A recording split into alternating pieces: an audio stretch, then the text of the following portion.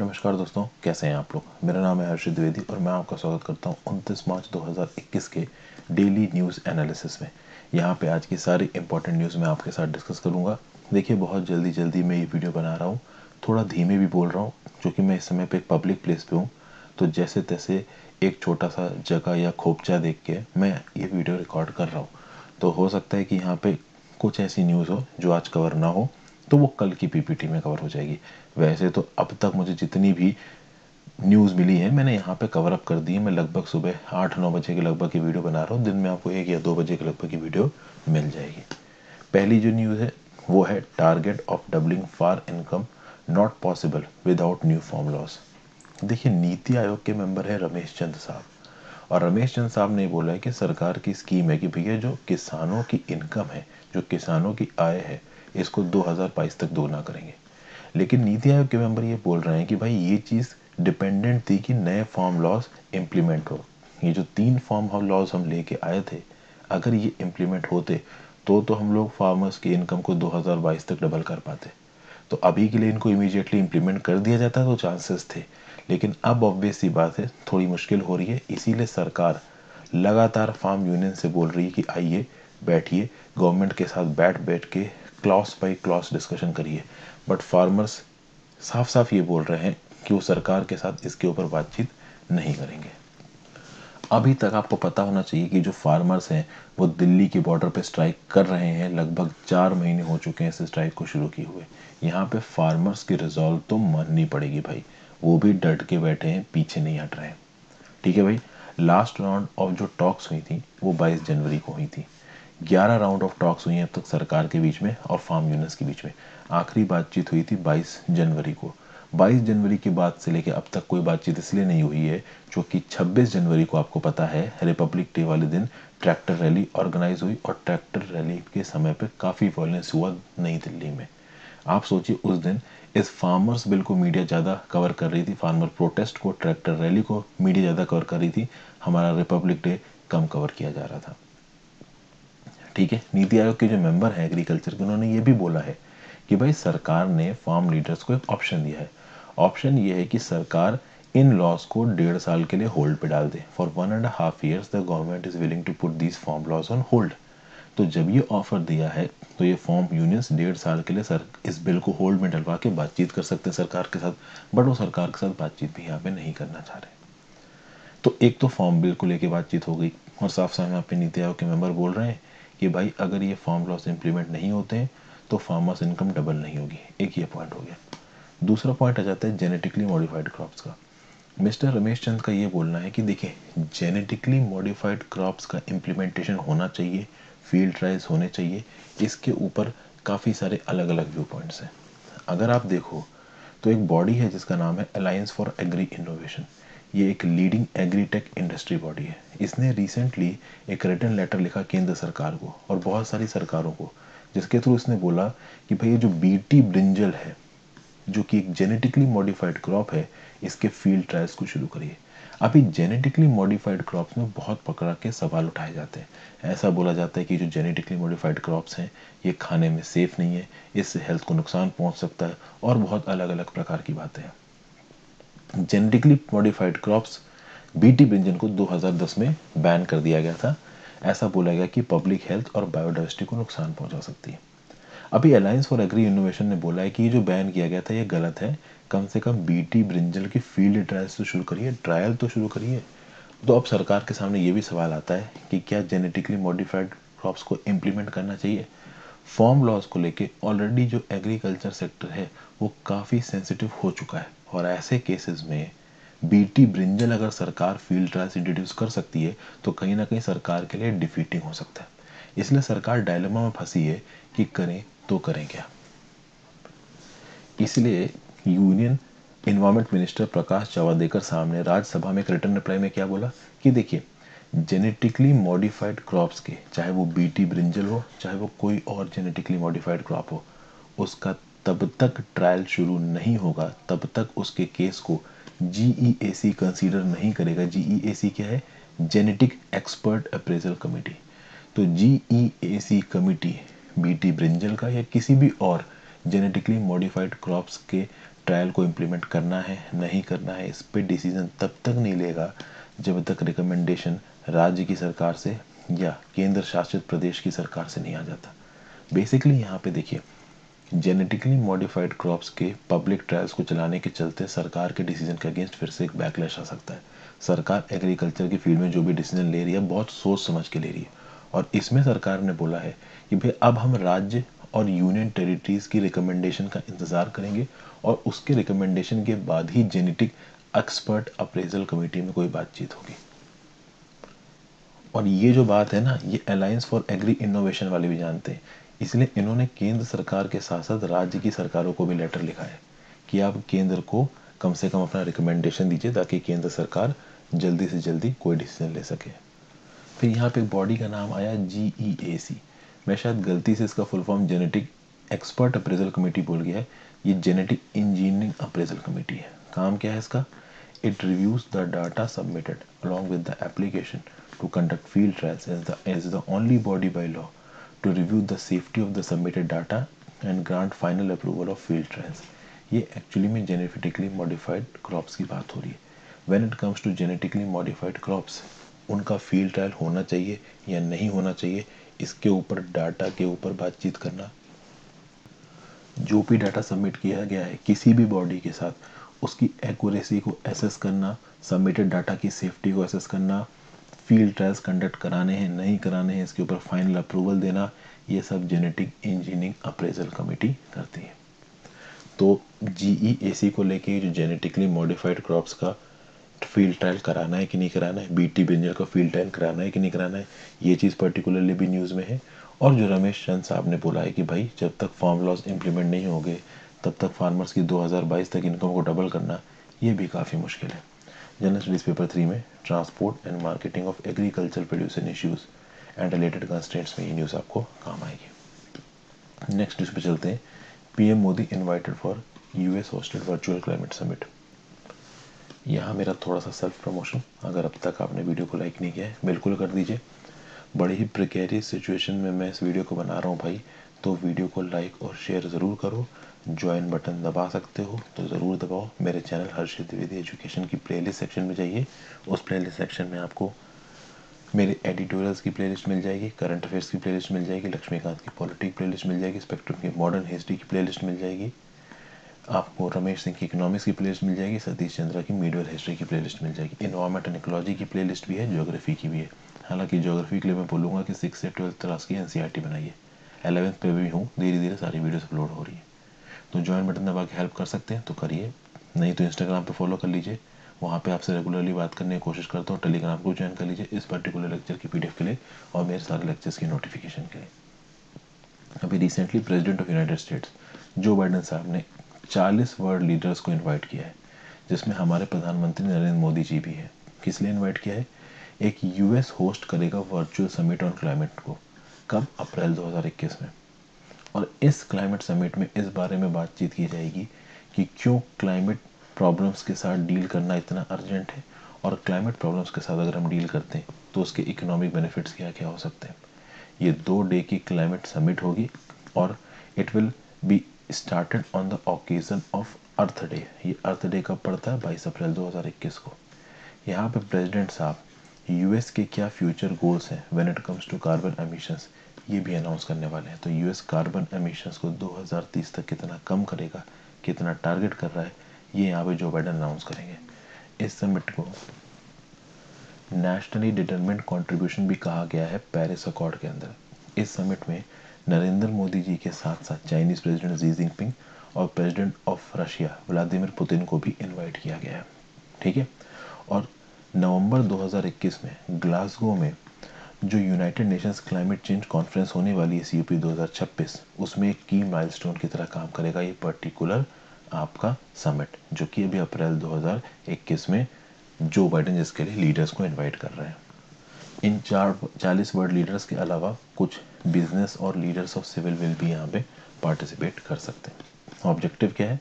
तो ऑब्जेक्टिव यही है कि भैया ग्लोबल टेम्परेचर को लिमिट करना है डेढ़ डिग्री सेल्सियस तक।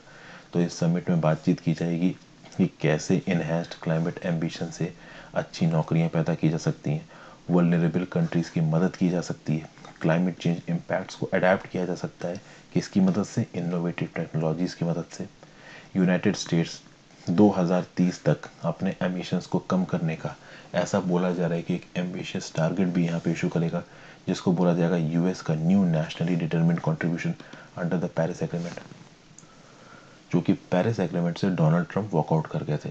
तो कहीं ना कहीं यूएस अपनी स्टैंडिंग को मेंटेन करने के लिए फिर से यहाँ पे ज्वाइन करेगा तो कुछ ना कुछ टारगेट्स देगा और ये टारगेट्स एम्बिशियस होने चाहिए। ठीक है भाई? और कहीं ना कहीं यूएस यहाँ पे पहले एक ऑर्गेनाइजेशन था जिसको बोला था major economics forum on energy and climate Donald Trump के बाद major economics forum on energy and climate पे भी कुछ नहीं हुआ। इसको भी यहाँ पे रिवाइव करने की बात की जा रही है। ठीक है इस फोरम में सत्रह कंट्रीज़ होंगी जो कि 80 परसेंट ऑफ़ ग्लोबल एमिशंस और जीडीपी के लिए रिस्पॉन्सिबल है।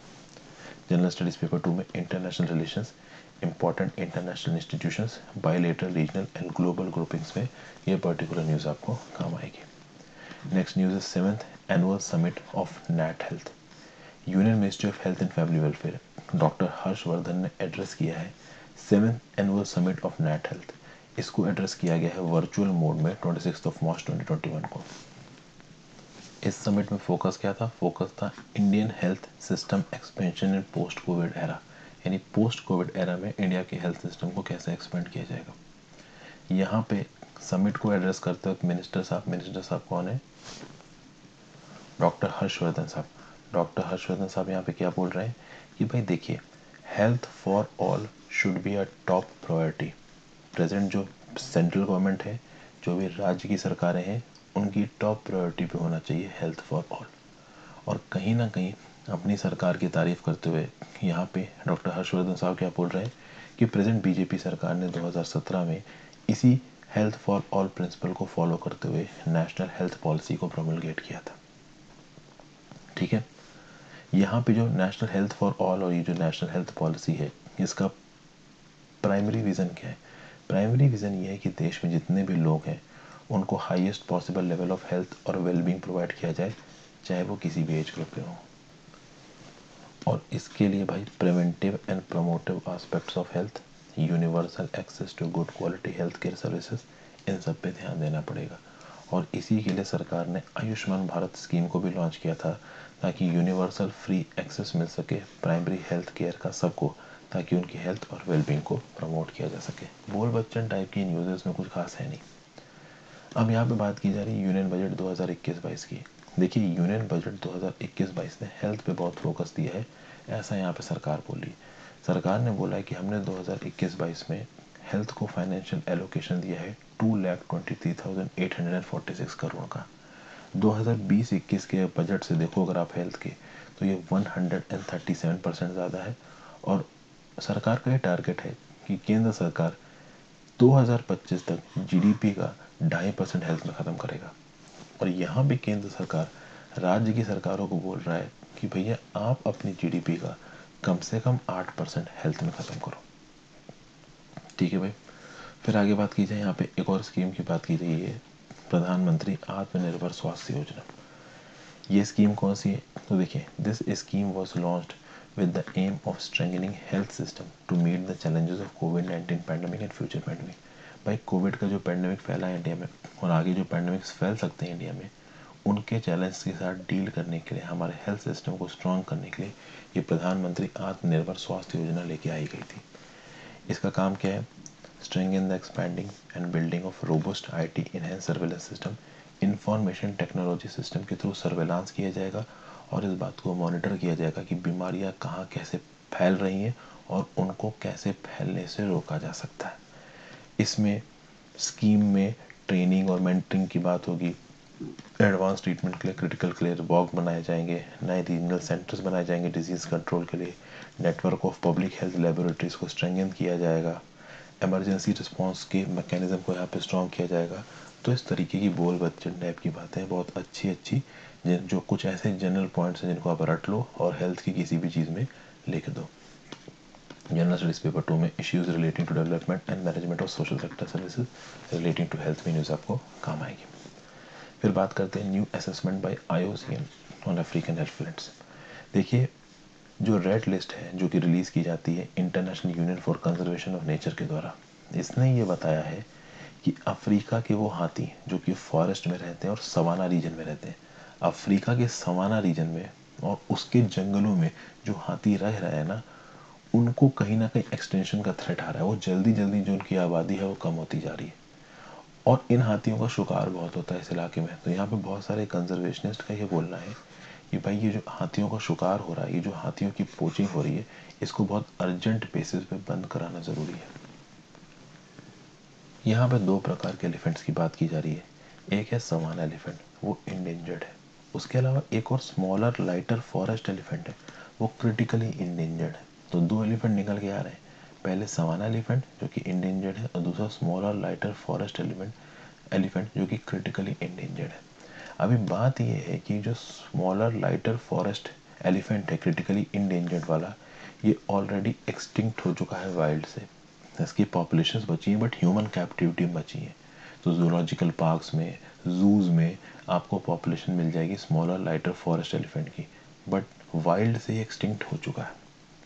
पहले International Union for Conservation of Nature इन दोनों प्रकार के स्पेशीज ऑफ़ एलिफेंट को वोलरेबल बोलता था। बाद में जेनेटिक एविडेंसेस के बारे साथ ये पता चला कि सवाना एलिफेंट अलग है और ये जो स्मॉलर लाइटर फॉरेस्ट एलिफेंट है, ये अलग है। ठीक है ना?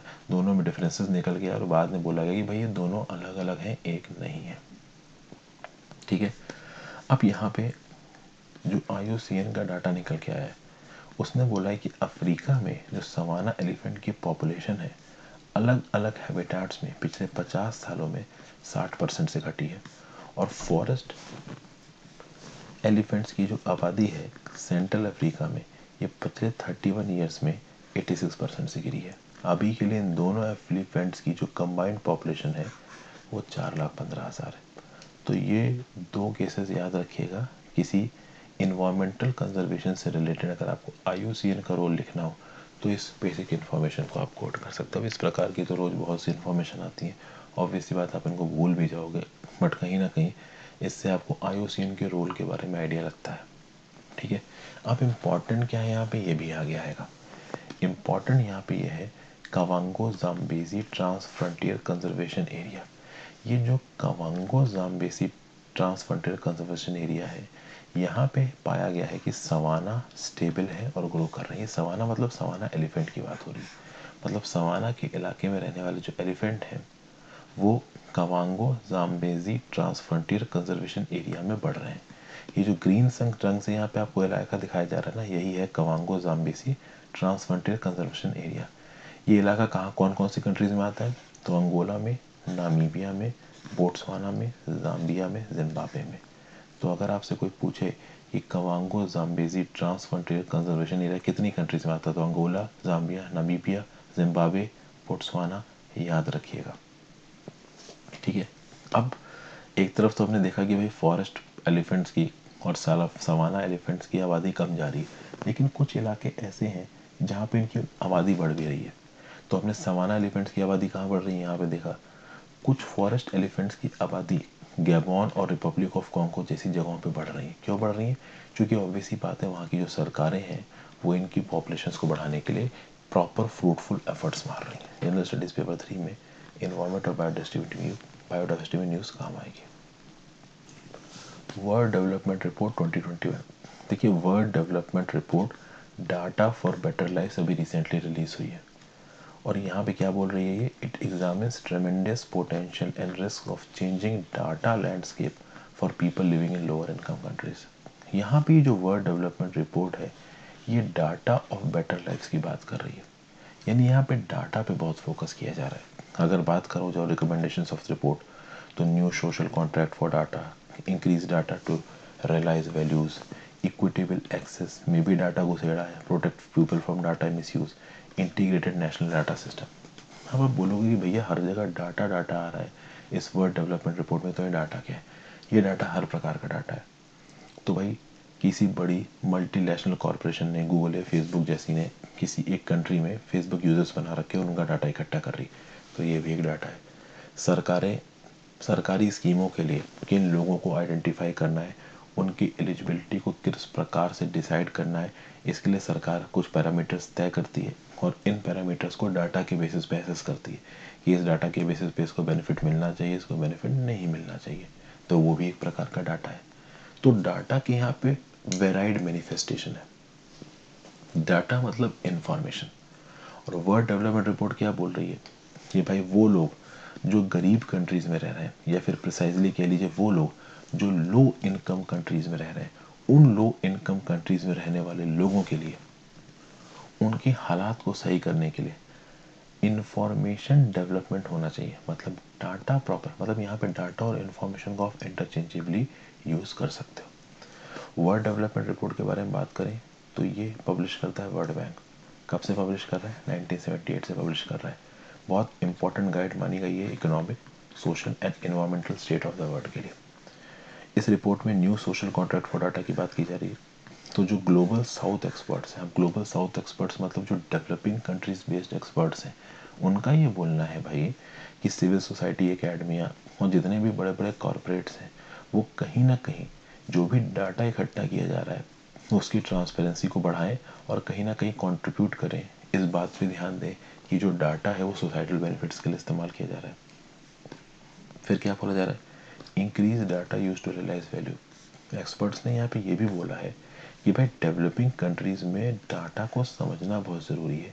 इस डाटा को गवर्नेंस में कैसे इम्प्लीमेंट किया गया, इस बात को समझना बहुत ज़रूरी है।